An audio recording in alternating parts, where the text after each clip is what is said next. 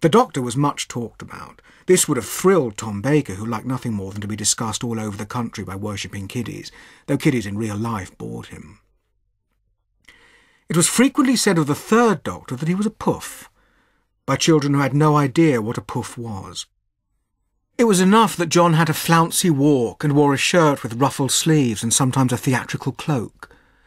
The question arose, what exactly is a puff?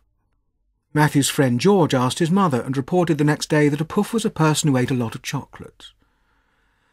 To George and Matthew and their friends this was a completely credible explanation, and it was not hard to picture the third doctor in his blossomy sleeves, lips pushed out, poring over a box of high-priced chocolates with the same care with which he approached a scientific problem, before picking out with his long practical fingers the chocolatiest and nuttiest and swirliest selection. Música